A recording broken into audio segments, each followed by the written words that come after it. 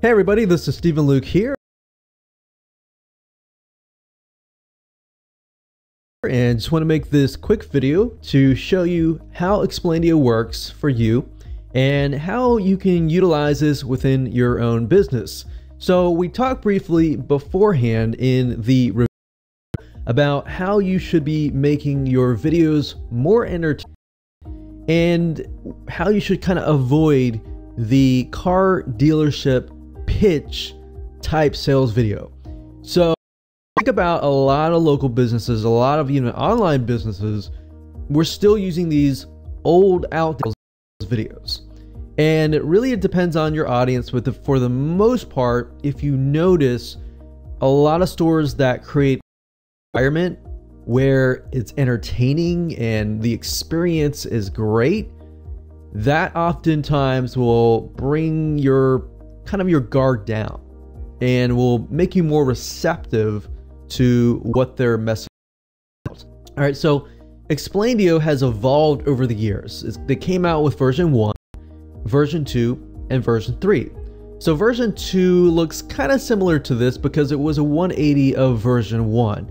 But if you take a look closely at version 3, version 3 mainly focuses on easy to edit it brings in a lot of media elements, it has a lot of integrations and more. In fact, uh, I created a list here just so you can see the major, major differences. So Explaindio version 2 was all about, you know, creating a really good explainer videos, but now you can edit faster and edit easier, which I think is very important from a video standpoint is being able to edit your videos faster is crucial. Multiple animations at the same which means that you can make it more entertaining, more engaging. So instead of having just one animation on, you know, a scene, you can have multiple animations going on.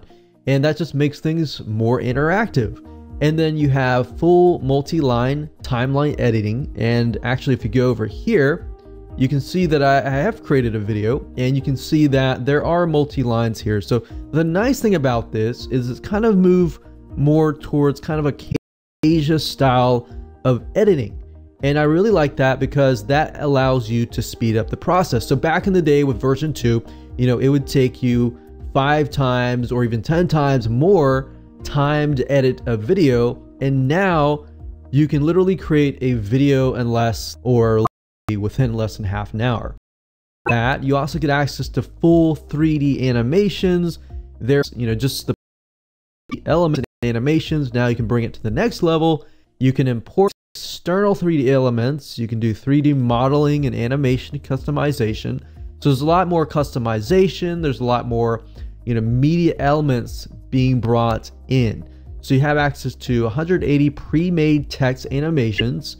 You have 100 made video, image doodle object animations. You have the Easy Video Creation Wizard, which just allows you to create videos at a faster pace. So instead of trying to think, what do I do? You know, you got these templates and presets that you can pick and choose from. Now, the one big one that I would say stands out is the ability to import videos in the most popular formats like AVI, WMV, FLV, MP4, and more. And what's cool about that it is it'll actually convert that video into kind of a whiteboard video, which is pretty amazing in my opinion. So you can literally turn an educational video into a whiteboard explainer video. So how cool is that? Now you can also do Youzign integration, which is kind of like an online Photoshop, and you can also integrate Pixabay which is basically royalty free images, and you can pull that into the actual video editor. Got a really cool feature added to the version 3 upgrade. So it looks, even though it looks very similar to version 2, there's a lot more kind of media elements that have been in friendliness as far as editing. Speed of editing is a lot faster. So what I want to do now is just to walk you through the actual software and show you kind of what and how to use it. All right, so as you can see here, made a really quick video with some of these images that I pulled in, but let me just go ahead and create a new project here. and we are going to call this test 5 and click create. So here's the thing. So you can create a new project, you can save it, you can preview it. So before you actually, of course, render the video, you can preview it, you can click on audio, and you can add your own voice, which is nice. You can add an MP3 file, you can add some music, you can pick and choose from some existing audio music. You can fade the audio. There's a lot of stuff you can do right here, so that's nice. So not only can you upload MP3, you can also record straight from your microphone as well. You can also import slide packs, MP3 musics, images, sketch packs, slide packs, and different font types. Now, as I show you this more in action, you can there's a lot more that is built within the system. Now, if you click on settings, you'll be able to integrate with Youzign and Pixabay. So if you click on royalty-free images here, basically these are free images that you can use inside of your video. And there's a site called pixabay.com. It's free, totally free. You can simply create a free account, get your free API ID, enter that into the system, and I'll actually have more information and training on how to go about doing all that. But basically, all you have to do is simply click on the images that you like, and it'll literally download these images to your computer. You can actually retrieve these for later use, and I'll show you how to do all that in just a minute. Now, another thing is if you would rather in your own native language, if you click language here, you can actually change it, let's say, for example, from English to Spanish. So you can see all the words and icons have changed to Spanish. So let's say, for example, that you have an outsourced team and you've decided that you want to create videos not just for yourself, but for your clients so that you can sell to your clients. So if you do that, and let's say that you decide to outsource this to the Philippines. So you have a Filipino team. So you can click on language, and of course, they can pick and choose the language. So they have Filipino here. Now, of course, we know that the majority with Filipinos, uh, they are they know how to speak English and they'll probably edit in English. But that's there just to make it more user friendly if you choose to go down that route. Now, as far as creating elements, let's just go ahead and create a new scene. So we're going to press this button here and we're going to create a new scene. You're going to have different scenes or different storyboards within a whole video. So if you think about a movie, one scene could be happening within the so there are varieties of different ways of this you're trying to so if you're doing a you might want to start out with some facts. If you're doing a video ad, you might want to start out with immediately just go straight into it because a video ad, say for example a YouTube ad, you really want to get down to what you're trying. You're trying to state a problem. You're trying to trying to get somebody's attention right away. So that's going to be like your headline. So we could add some text. So we can add text here. So you'll notice that when I added an element, and these are the elements down and this is kind of where you're working with your working area. And then of course up here is your timeline. So this is a new feature of Explaindio. So you're gonna see layers and layers of timelines here. So if I add another text, for example, you're gonna see that the text over here.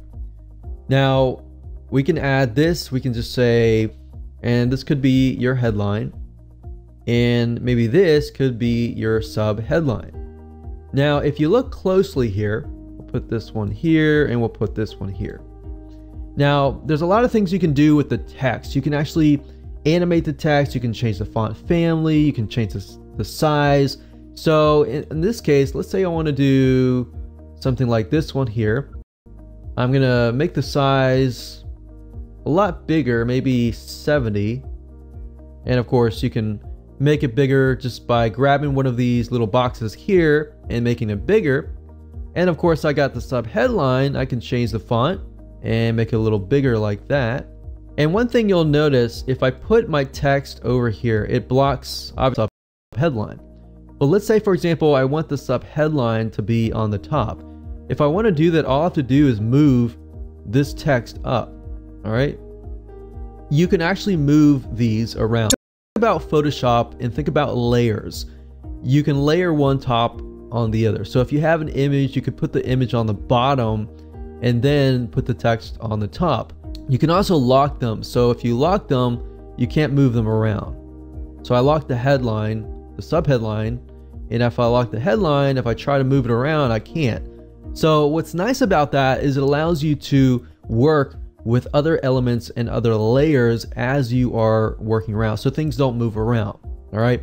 So another cool thing about it is if you click this arrow here, we'll unlock these, you can add new effects. So if I click on add new effect, you can actually sketch this by hand or you can do fade in, you can fly in and all that. So, you know, back in the day with version 2, everything pretty much would be sketched. So sometimes you don't want to sketch something. So or erase something by hand. So you can actually have all these different animation presets. So you can so sort of like PowerPoint, you can have them slide in from the left to right, you can have them spin, you can do other things. Now, with explainer videos, I'm going to make them sketch by hand, this one here, the headline. And the subheadline, I'm just going to have it kind of fly in. So we're going to click on add new effect, we're going to fly it in.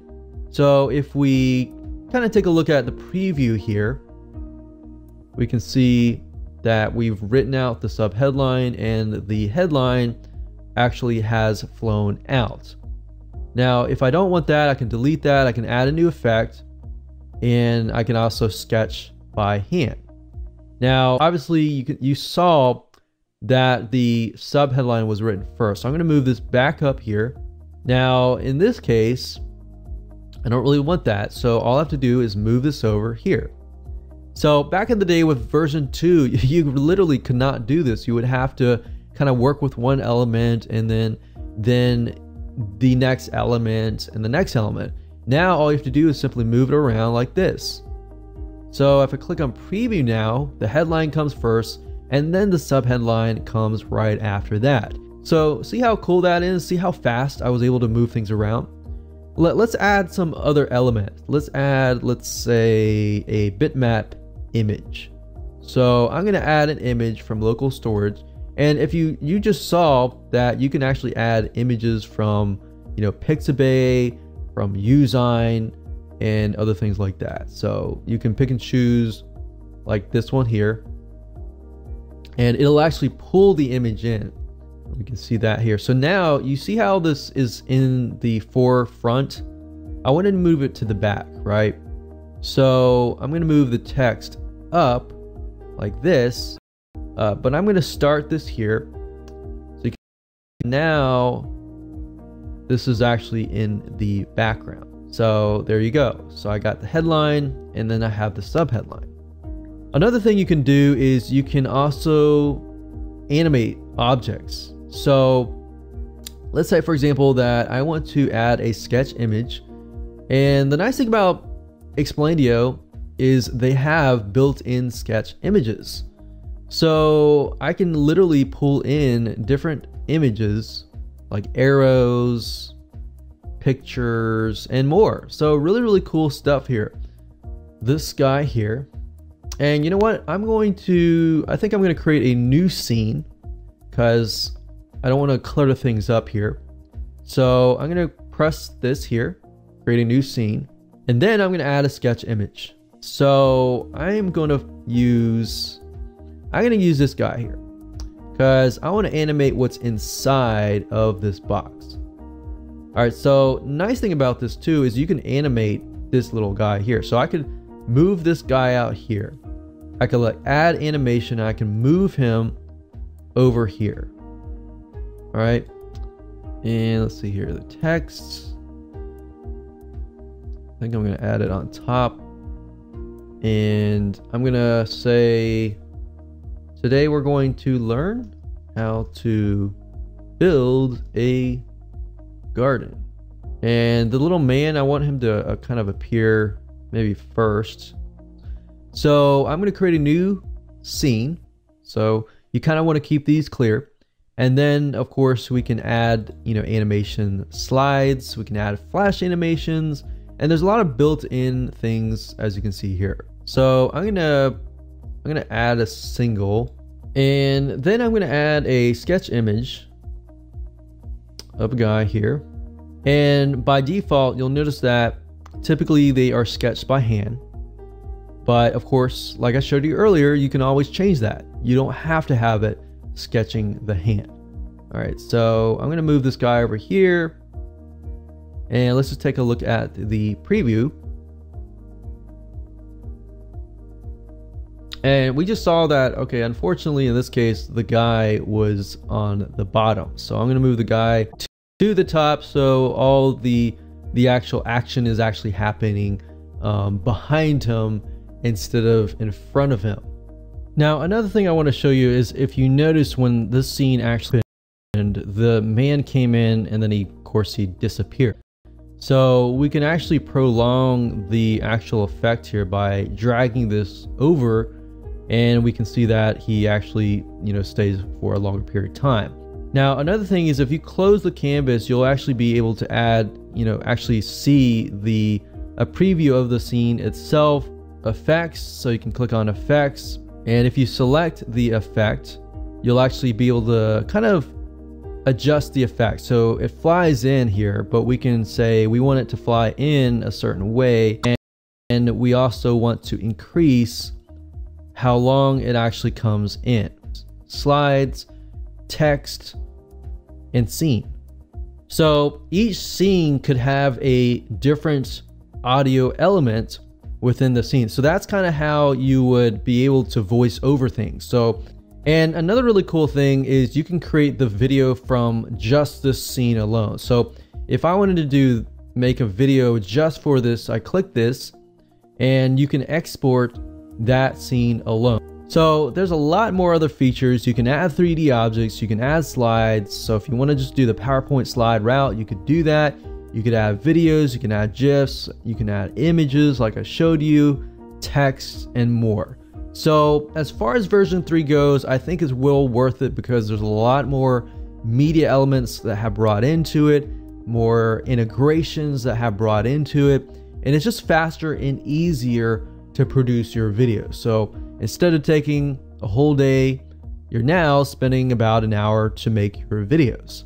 Another thing that I will say is Explaindio this time around does provide really good training. I will say that version 1 and 2 they kind of dropped the ball on video training, but if you want to know how to actually use the product to the max, I will say that version 3 is a lot better and they have a ton, tons and tons and tons of videos that will really walk you through beyond what I've taught you today. So with that said, go ahead and grab Explaindio and start creating your entertaining videos that'll help you convert more sales.